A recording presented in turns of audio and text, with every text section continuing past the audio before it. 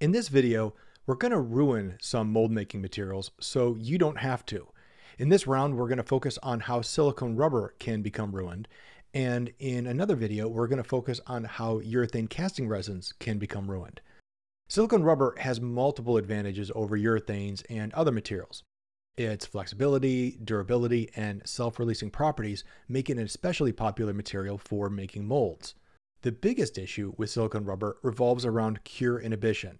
There are some substances that interact with some silicone rubbers as they cure and actually prevent the silicone from completely setting up, leaving them wet or sticky.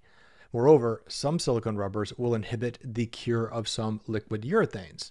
So, in order to avoid turning your project into a sticky mess, we've put together this guide to help you avoid over 99% of the causes of cure inhibition.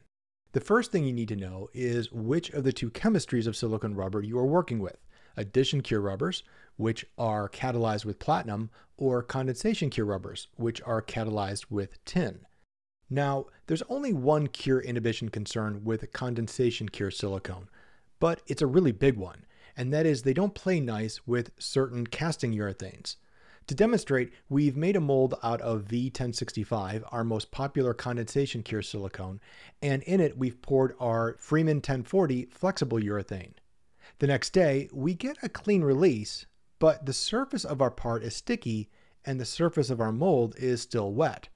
Even the following day, the part still hasn't cured, and in fact will never fully cure, meaning that not only do we have an unusable casting, but we've also ruined our mold. So while many urethanes will work fine with condensation rubbers, these exceptions do exist, and without getting into which raw materials may or may not be the root cause of this phenomenon, there's no way to know ahead of time whether the urethane that you'll be using is going to be incompatible. Thus, you risk losing hours of time and hundreds of dollars if you are wrong.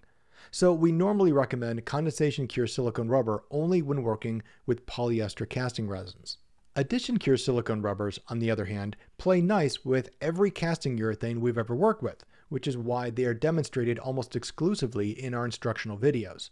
They do, however, experience a greater cure inhibition when poured against materials like acrylic, vinyl, wood sap, urethane foam, and sulfur. Sulfur is a common ingredient in modeling clays, so we're using it to demonstrate cure inhibition by constructing a circular dam of non-sulfuric clay on top of a block of sulfuric clay. After pouring our V340 addition cure silicone in this mold, we allow it to cure overnight. Upon demolding, notice how most of the rubber has cured, including that which came in contact with the non-sulfuric clay. The bottom, however, is still wet. Even after sitting an additional day, it still fails to cure.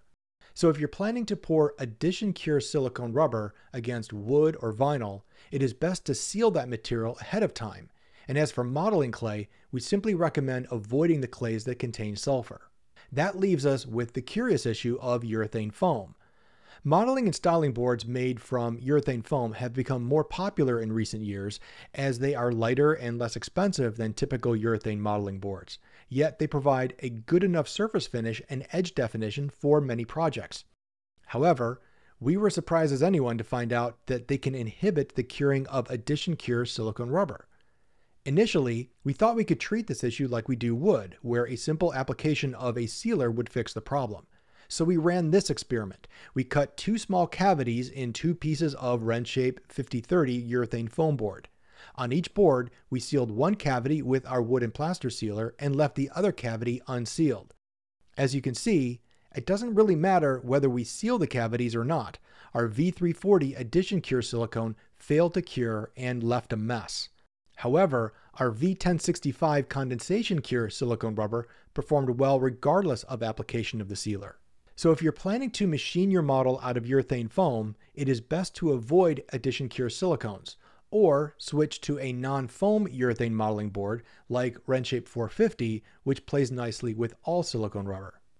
One additional note on silicone rubber is that you don't want to switch from one chemistry to the other using the same mold box. So if you create a mold with V1065 and then you later want to make the same mold with V340, you'll need to start over. Finally, we should note that silicone isn't the only material available for making flexible molds. Urethane rubber does have some advantages. It is generally less expensive, and it is much more abrasion resistant, making it the material of choice for many concrete, ceramic, and architectural applications. However, since it is a urethane, it requires the proper application of sealers and release agents, which we detail in our other videos. So there you have it. When it comes to cure inhibition, you now know more than 99% of mold makers out there. By not only understanding our choices, but also the limitations of each material, we are far less likely to run into trouble once we start using the various materials. As always, if you have any technical questions or concerns, our technical line is open 8 to 5 Monday through Friday, and you can also submit your questions via our website at freemansupply.com. Thanks for watching. Please like, subscribe, and ring the bell to be notified when new videos are released.